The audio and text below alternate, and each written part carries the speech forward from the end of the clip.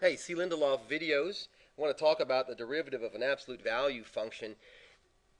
I'm going to start with the derivative of x, uh, uh, first derivative of absolute value x. And I want to thank Martha Claypool. I watched her video the other day, and she reminded me of that illustration uh, that explains this so well.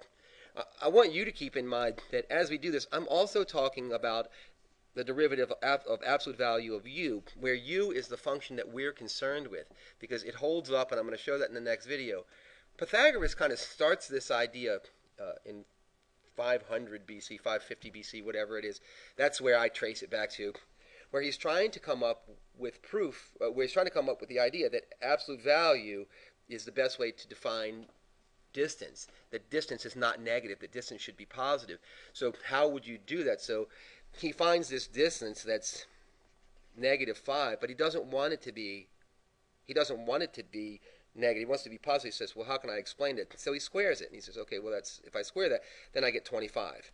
And after that, he takes the square root of it, and he gets 5. And we can see clearly that one way to define absolute value, and this is what Martha talks about in her video, is the fact that the absolute value, so absolute value of x, can be defined this way, that we can say it's x squared, that gets rid of the negative, doesn't it? And then you take the square root of that.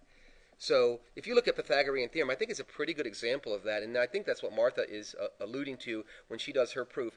I'm going to follow her proof because I want to take her proof to absolute value of u, because we have some assignments, uh, some functions that are not perfectly x. They're a little bit more complicated than x, but this method is a, is a good, a very good illustration. So all I'm going to do is start with that. I'm going to say, let f, let f of x equal absolute value x. And let's agree that we can define absolute value of x as x squared, the square root of that, and if you look at it for a second, and I know what you're going to do, just try to resist the temptation, but x squared to the 1 half power so now if we can go from here and say, okay, well, if f of x is defined as x squared to the 1 half power, I'm sorry, this way, then f prime of that using the power rule, I know what you're thinking because I can hear you in my head going, well, why don't you just fix this?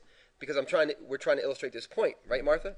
Uh, we're trying to illustrate this point, so I'm going to go ahead and take this derivative here and say, take the derivative of the outside, I'm going to use the chain rule here, I'm going to take this outside derivative right here, and say, well, that's 1 half x squared, decrement this exponent to half, right, times the derivative of the inside, which is 2x. Now I'm going to simplify a little bit, and I'm warning you now, don't oversimplify or you're going to lose the point here. But look at this.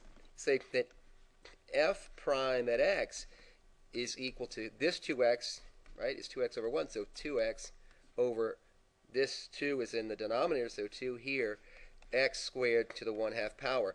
I know what you want to do, and I'm asking you to resist the temptation of cleaning that up for just a second. But what I am going to do is just clean this mess up a tiny bit. Say, okay, I have f prime at x is equal to x over x squared to the 1 half power.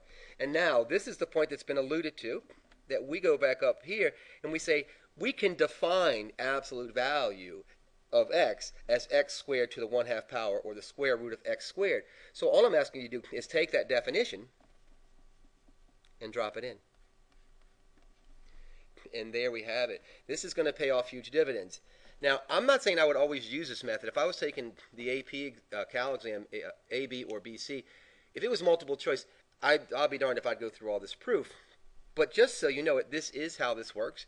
And in the next video, we're going to talk about a function. And the function I think we're going to talk about is uh, f of x is equal to 5 minus the absolute value of x minus 5. And therefore, instead of having absolute value of x, we have absolute value of u.